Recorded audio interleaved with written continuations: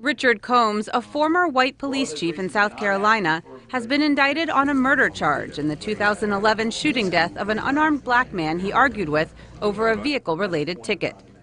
The victim, 54 year old Bernard Bailey, was Doris Bailey's husband. Mr. Bailey was a good man, a very good provider, and we all miss him greatly.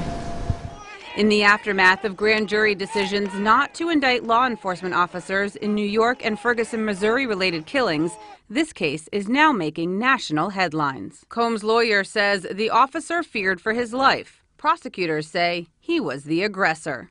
That's Ferguson, Missouri.